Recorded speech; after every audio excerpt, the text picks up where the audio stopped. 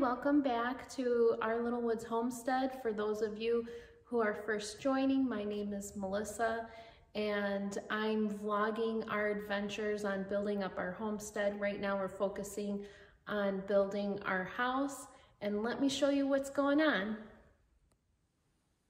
Today we just installed the TV mount and also the brackets that will go for the fireplace mantle. And we're going to be having a gas fireplace.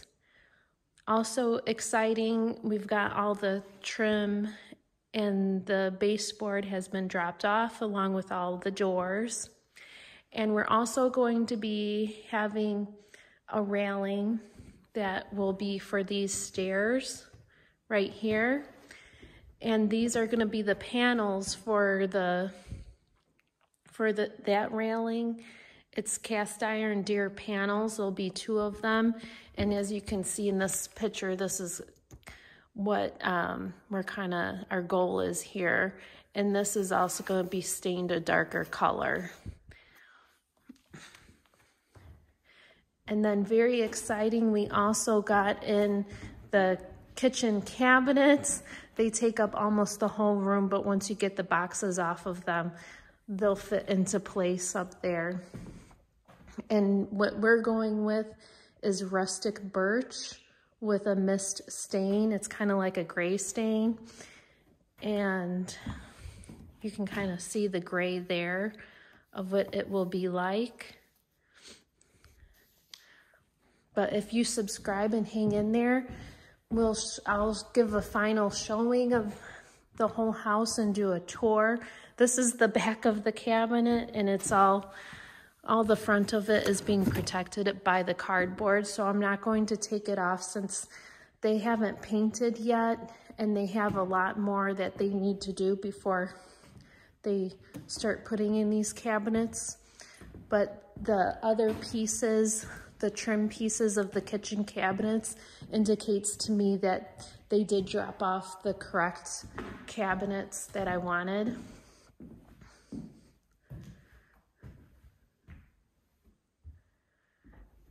And then you'll notice over here there was a, there's a hole right here and the drywallers had to find the under cabinet lighting wires. They did see it on this end when they put up the drywall. But what could have happened is that the insulate when they insulated it, they could have covered up this wire and so then the drywallers didn't see it and that's okay. They found it. And it was actually Luke that caught that.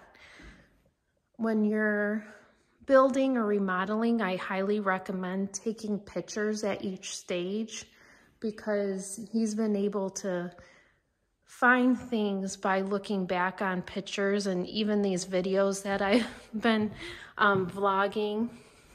I thought I also wanted to show you something really neat is the scaffolding that the drywallers are did. So they put all the scaffolding up. This is probably about five feet high of scaffolding so they can do the plaster on the higher parts of the wall and the ceiling. We can go ahead and take a look at that. I'm climbing up very carefully. Okay.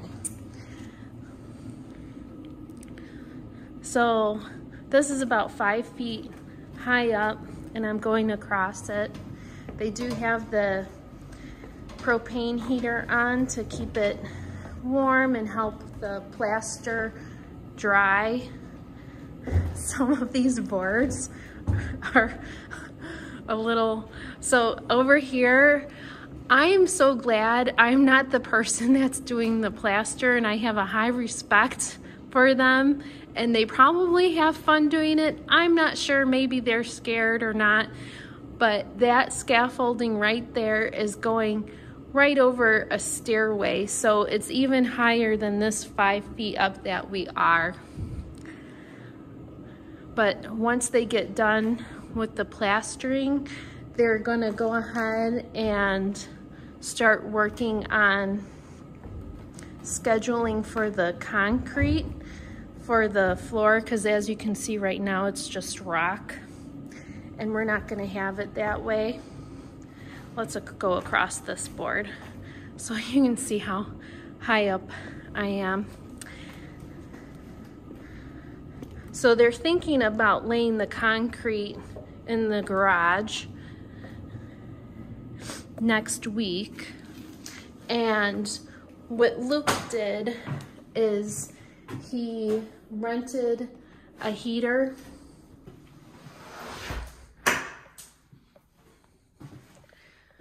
for next week that wouldn't be um, the propane so that way we can avoid the chalkiness. Right now I'm just going through and showing you each room. They dropped off the doors and um, the, the trim for the windows. So um, if you were with us, if you weren't with us last time, uh, one of our concerns is that the concrete would be chalky if they laid it now and tried to dry it with propane.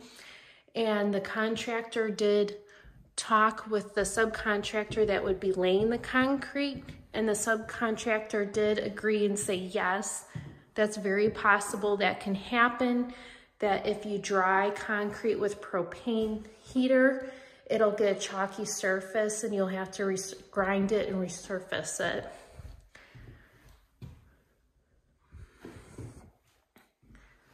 This is the master bedroom. So again, they just dropped off the doors.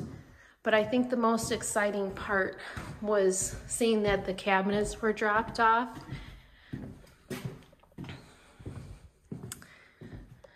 And that is about it.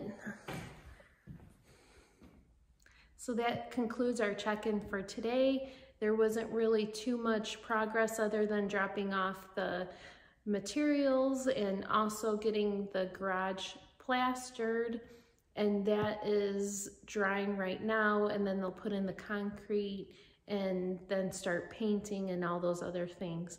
So I do plan on doing a final showcase at the end of everything's pretty much installed.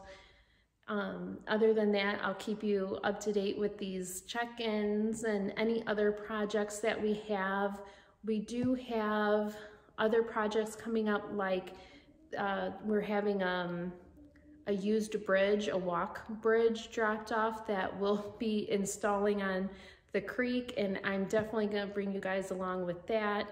We have the woods that we wanna put in the managed forest program and the cleaning that up and there's uh, we're gonna have to order tons of trees. I think we need to plant in order to be in that program and building it up per acre. You have to order about 400 trees per acre.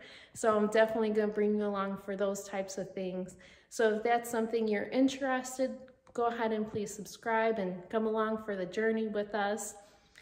Thanks again for stopping by. I hope you have a wonderful day.